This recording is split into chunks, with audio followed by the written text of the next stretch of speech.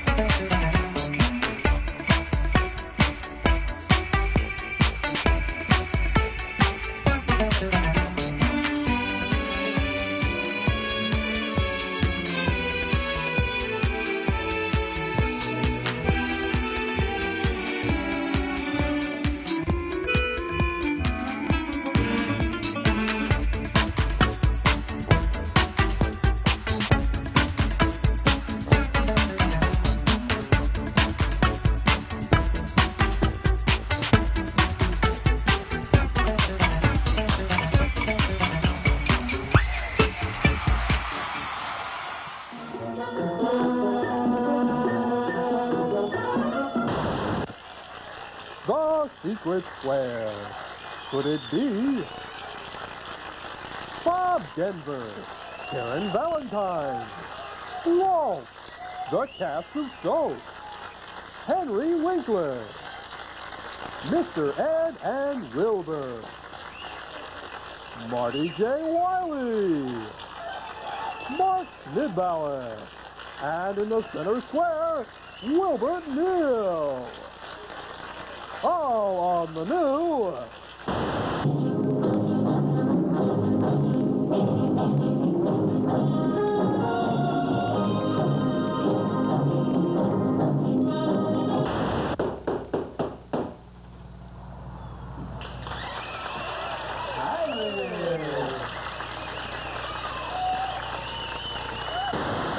Tuesday at 6, Wednesday at 10, Thursday at 3. That Darren Pamela Furton. Um, oh, no, not another Burgess Meredith show. Um,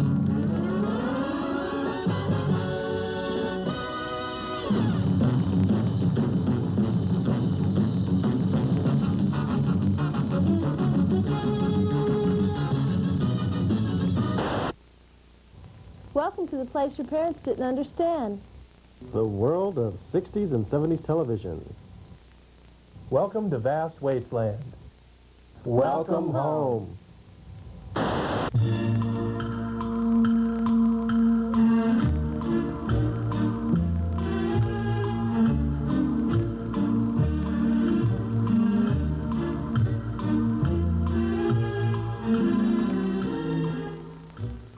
Hello and welcome to Vast Wasteland, the video journal of popular culture. I'm Mark Smithbar along with Wilbur Neal and Marty Wiley. Well, tonight we're going to talk about TV violence. That's right.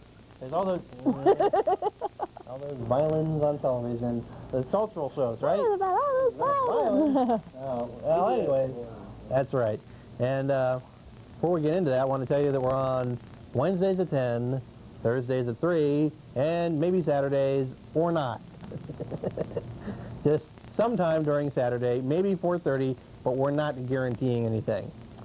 And if you want to write to us, you want to write to Box 151411, Columbus, Ohio, 43215. Well, before we get into the big excitement of TV violence, a couple events happened this past weekend. I have no idea when this is airing sometime in late December or something. I don't know. Several, weekends. so, yeah, many, many, many moons ago, the, the Memorial Day weekend, two big events happened. One was, one was this darn uh, the the final episode of uh, Next Generation, and uh, I've had a lot of people asking me why are they taking the show off the air? It's making so much money for Paramount. Why are they doing that? Uh, uh, and, and nobody seems to get it. Well, I'm going to explain it for everybody. Here's why they took Next Gen off the air. Here's how syndication works. For those of you who care. For those of you who care, this is, for those of you asking, this is why they took it off the air. In order to do what is called strip syndication, which is Monday through Friday, you know, same same time each night, where you shoot, where you show episodes of the show, you got to have enough to show a half year's worth, which 26 times 5 is 130. So 130 is the magic number for a number of episodes. Any episodes past 130 aren't worth as much, okay? Because uh, a station will pay like this much for 130 or this much for 170. Because it's not worth anything more to them. I mean, it's more episodes, and it, they do pay more, but it's not worth nearly as much. Which is that, and the reason they're doing a new series and they're doing a new movie. See, the, uh, each episode costs like um, uh, two million dollars to, to to make, and which means uh, we're doing costs like two million dollars to make. Okay, they think the movie's going to cost the next movie's going to cost like 40 million. So that's like 20 episodes worth. okay, okay.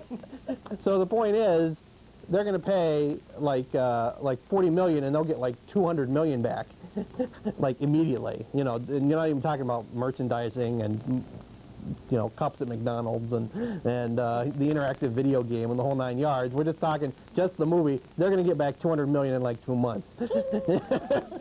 this is why they're not doing. See, the series, while it makes big loads of dough, is not going to make that much money for a long time in just those episodes they would make. Wouldn't be worth 200 million in like two months. That's thought everybody got bored. Want to do something else? No, all the, all the all the stars, all the producers are there going. We have no idea why Paramount took it off the air. That's why they took it off the air. Oh, Okay? you think those be people that would know? You would think so, wouldn't you? It's in. Is that it? It's it. in. So, Bobcat, don't go writing spray paint Paramount sucks on their set. That's right. That's why they took it off the air. so I don't want to hear anybody asking me that anymore. They've got all kinds of neat new merchandise. That's right. The, the transporter pin. yeah. oh, Lovely Klingon girl is going to sell it to you. I am bored. operator here at Paramount. They hire Klingons. That's Boy, they right. don't discriminate, do they? yeah. okay, and the other thing was was this darn Flintstones movie coming out, and uh, well, I'll just give you my two cents worth for what it's worth. Uh, maybe I'll have two cents. Uh, it's okay. Don't have really high expectations when you walk in, and uh, you'll do okay. And you won't be disappointed. yeah, it's okay. Yeah, Any anything else on Flintstones? It's a cute little movie. Yeah, yeah, it's cute. but that's about it. Sit behind uh, Israelis and sing, though. They think it's funny.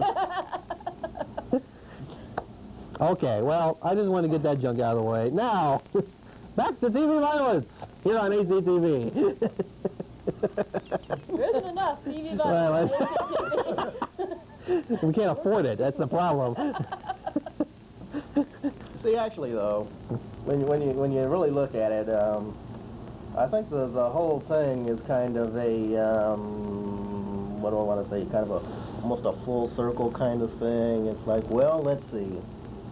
Anytime there's um, violence depicted in in an art form, there will always be somebody to to downgrade it or, or say, oh no, this is awful. Yet when it happens in real life, they'll say, well, oh, this is awful, and you know we should try to get away from this. But yet, what do they do? They'll show it on the news. Yeah.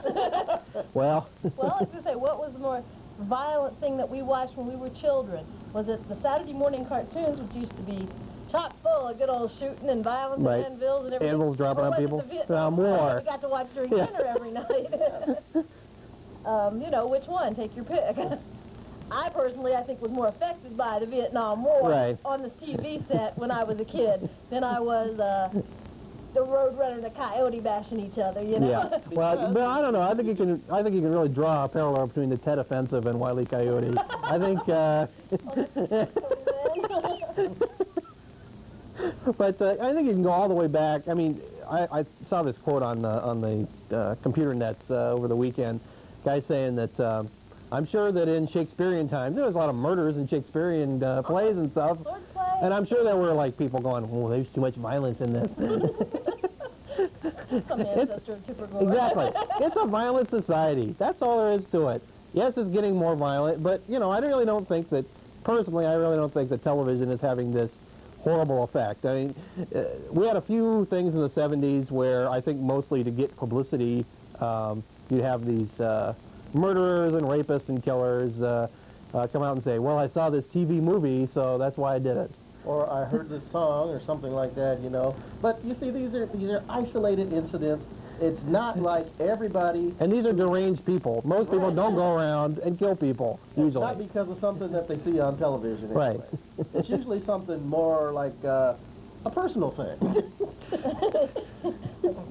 Well, it was like okay in the in the well, of course this is who knows when this is being shown, but in the recent edition of Hoot that I read, there was a wonderful little cartoon up in the corner in uh, Bizarro, the back page, and these two older inmates are sitting there looking at the newspaper. The headline says TV violence, you know, causes crime, and they're looking at it and they go, well, gee, if we had known this 30 years ago, we could blame all this on Ed Sullivan. so it's like. I don't know, considering that we saw real violence on TV Right. as kids, and then we saw TV westerns and, and all kinds of stuff too, it's like, Well, see, the question is, uh, now we seem to have good violence and bad violence. We have, and, and, and, and ironically, the good violence is actually real violence. We have, we have, you know, another episode of Cops, where they, uh, they come in and they throw some guy to the ground, they break into his house, and, dog chews on his leg. but, you know, they're the good guys, so it's okay. yes, they have a warrant. Yeah. At the same time, if you, if you see a Sam Peckinpah movie where, where somebody comes out and does this, ooh, no, that's awful, ooh, it's so realistic, it's violent, it's terrible, we shouldn't show that. Well, I mean, where do you where do you draw this line here? It seems to me. Here we go. it seems Get back, to he's going me off that the problem is not in your the set. shows. It's the way people watch them, and not just the people who watch them, but the people who watch them and really let it affect them. Come on, it's TV. You can turn the channel. You Right. don't have to watch. Right. If it's not what you want to see, turn the channel. Don't go out there and legislate and say nobody can see this because I don't like it. turn the channel. and and so this whole concept of, of labeling stuff, now you're seeing like things like video games, they're going to label video games. Now you know, for for like kids uh, looking for video games, this is what they're going to be aiming for. Oh, yeah. They're going to be, wow, that's going to be a great game. Look at the rating on that one. like ratings, all they're going to do is attract attention more than anything, Exactly. and and the wrong elements are going to go and watch that. Unless you're going to not only rate them, but uh, enforce these ratings and say nobody under a certain age. Some sorta- this some- game, kind of like what movies have been doing for years. I mean, in, in, in that in that respect, well, then that's fine. But who's going to be the ones to decide this? And, and then you got stuff like, uh, you know, people complain too much violence on broadcast TV, and yet most people, like wh- who have cable, have like HBO and stuff. and apparently, oh, violence is okay if you're paying for it. If it's free, then we have a problem. No, no, but see, that's not even it anymore. They want to, they want to kind of regulate what movies, when the movie's on there, they want to, they want to regulate it or something. They're already putting labels on here. Ooh, this is rated, whatever it's rated, because it's got this and this and this and this and this. Right. And yet, other movies will be rated whatever because of this and this. And sometimes they're so darn close that you just can't really, um, Well, the whole rating system is is very arbitrary. Obviously, I mean, it's just like uh, it's not like they have some sort of formula. Well, you know, well, no, actually, I think it is a, a formula kind of thing, but yet the formula they, they seem to be able to, to barter with it a lot. It goes up and down, and depends on- oh well, if I take out you know this, is this okay? No, well, what if I take out two of those? Okay, well, can I take out two of those? Can I put it in one of these? you got you got you got your you got your language, you got your nudity, you got your violence. Right. If if I take out one violent yet stick in two nudities, this is okay. Yeah. or if I take out if I take out one language but put in a violence, or if I have a violence real early, and then the rest of it is just language, Is it uh, can I get this rating? Yeah. okay, like okay, like people are there's a cop show that's on that's got language, nudity, and violence. Yeah. Yeah. Okay, people are just like having a hissy fit over this show. Right. I watch it. I love it. The violence isn't unnecessary. It's part of telling the story. The nudity, hey, locker room scenes, I love them. And the language. Why are you not human, man? Hey, you see more behinds on there than boobs, so I can live with it. I think, okay, watching the show, it does, okay, I think it's a good show. And it's like a real show. I don't see where people are, why people are so upset because like there's worse things happening right out, those things are what's happening outside. Right. I think that I think that violence, real and depicted on TV, has not affected me so much as living in this big city here. Because I'm like from a small city where you have a murder a year, maybe, Right. And that's that's a big year.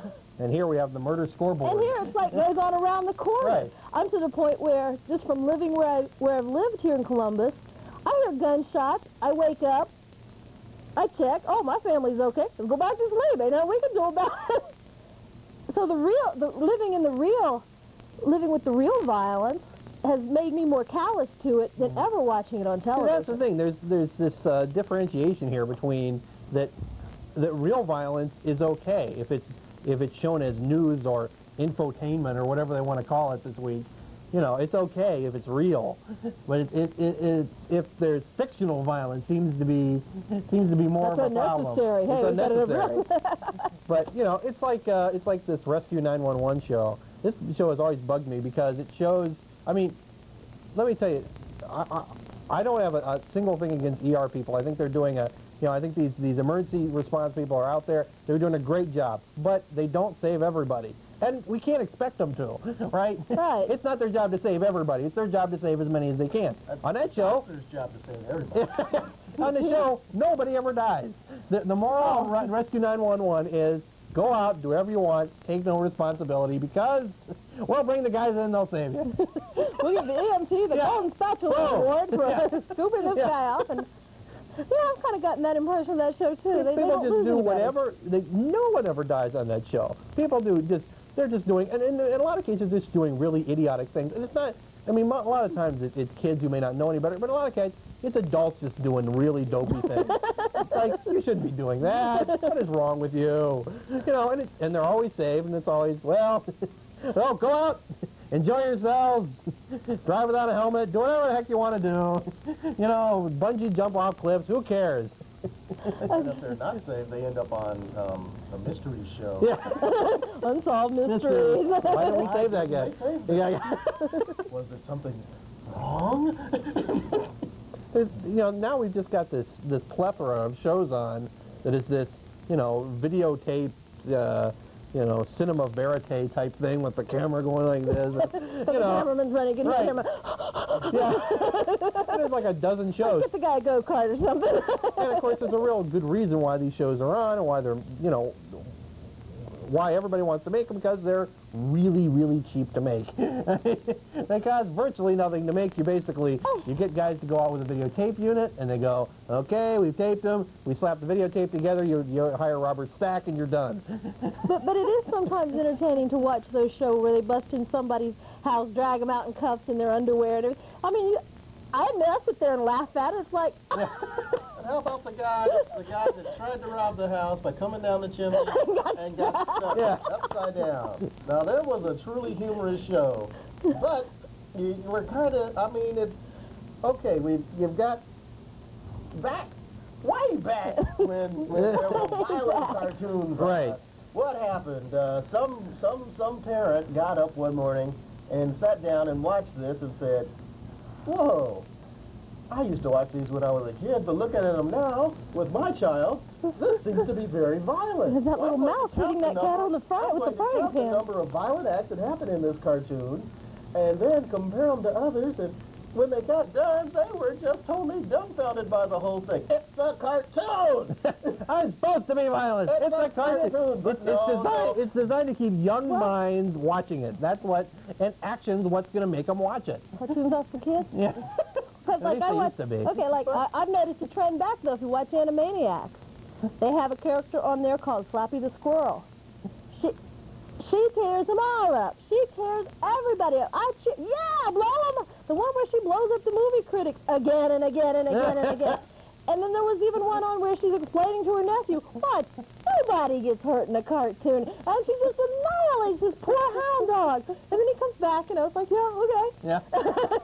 That's the whole point right there. That's- It's a cartoon. Never made me want to go out. It's like they used to worry about, ooh, if the kids are watching it, then they're going to take a skillet and try to bang their brother over the And head. this is and this is why in like the Wile E. Coyote cartoons, it wasn't like it, for the most part, it wasn't you know normal household items. It was like you know Acme. Acme leg Acme. vitamins and uh, you know Acme giant magnets and stuff if you- stuff that kids usually can't get access to. but, but, but stuff but stuff that I think a lot of us did try, you know, tie tie the tie the bed sheet to the back of the bicycle so that when you're going too fast you've got a parachute. Yes.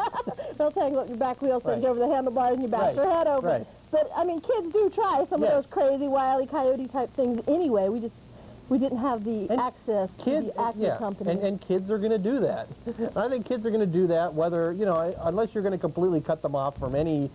And I, even I think I think if they ever did an experiment where they just cut kids off completely from any media influence whatsoever, no books, they no, still beat the crap out of each other. would. They would. exactly. I'm sorry. I see too many kids that don't watch TV all day. They're outside playing and they're beating the crap out of each other. and it's it's not so much that. I mean, it's so you you cut a kid off. What happens? Well, they'll invent something, but in the course of inventing something, they're going to get hurt. They're going to get banged up and scratched up and stuff. I'm sure the Wright brothers didn't just go out one day and they just made this plane and that was that, and they never got hurt. they were probably falling off of stuff trying to get this thing going. You know, they they were what were they? Bicycle makers. Right. I'm sure. Well, up, you're going to go from a bicycle to an airplane. There's got to be some Somewhere in intermediary between step. You're, you're You're going to go off a roof or something. Yeah, a bicycle with probably, wings on you're it. Probably in a You know. hospital somewhere for a little while. They will. I do this, it'll be a little better. Oh, that didn't work. Well, now you've got cartoons that are showing kids that um, don't do this. Right. And so there's not a lot of kids that are really do. There are some kids that are. I mean, kids are going to do silly things anyway, but not to the extreme that they'll see on the old cartoons. But then they saw, oh no, these cartoons are influencing the kids, which they weren't. So we'll just water them down, and then they just became really silly and crappy, and, and nothing happened. And you got to figure any kid who tied who tied a towel around their neck and jumped off the roof because they thought they could fly like Superman, you probably didn't want the genes in the gene pool anyway That's anymore. and they learned from that not to do that. if they got up again. It's like the deal with the uh, the the two kids that. Um, did, did they commit suicide or did they try to commit suicide of the Metallica album? I'm trying that to was a. Judas Priest album. Judas Priest. Yeah, And, like- um, and you one- know, as far as one- I'm concerned, two less French fry attendants. You know. they, were they were smoking dope. They were drinking beer. Yeah, They're but this has- underage. this they're has nothing to underage, do with it. And they're listening to Judas Priest. The- like the- who hasn't done that anyway? the, the drinking and the drugs have nothing to do with it. It was the Nothing to do music. oh, it was this Judas Priest album. well, okay, just just okay. We're talking about like the real violence that they show on the news and Yeah. stuff. I, I saw recently where some markets are trying out family news. Mm-hmm. None of the bad stuff. Just the news happy you can stuff. sit down and watch with the kids. Family-oriented news at at six. What's going to be on there? Yikes. Those darn homogenous cartoons. I mean, that's, that's what the news is. The news is there to show things that happen. Happen. It's there to be newsworthy. Yeah. But yet, I I would personally say that the news or news shows are probably the most violent things on TV. And that's and that's really the way it should be because let's face it, for the most part, the way we would like to feel in our society, that when good things happen, generally, it should be expected that good things happen. That you walk down the street and you don't get shot. You know, it's like what- it's when bad things happen. Bad things are news. for the most part, other than you know, and the spelling bee was on today, and you have those stories, you know, and you show the kids spelling and whatever, but. Do you think maybe that goes back to some ancient primal instinct, like like when Thor clubbed uh, Knock over the head, uh, Yes. uh, and then all the cave people talked about it, sent it across. Ooh, watch out for him! And so now we put it on the news so we can warn everybody in the tribe, Yes. everybody across the world. Yes. Watch out for this guy. He shot up a Denny's. Right. exactly. That- maybe that's what it goes back to. you, you know there's going to be some kind of motivation for that, but yet I don't think the guy sat down and watched a TV show and said, hey, Hey, that looks good. Maybe I should I do that. I can go out and knock over a ditty, you know, no problem. No, I'm sure he was not your TV watcher. he was one of those guys that, well, could afford a TV, maybe, maybe not, but yet he's out there. He didn't get this from television. These violent acts don't come necessarily from TV. Mm-hmm. It's not the fault of the television.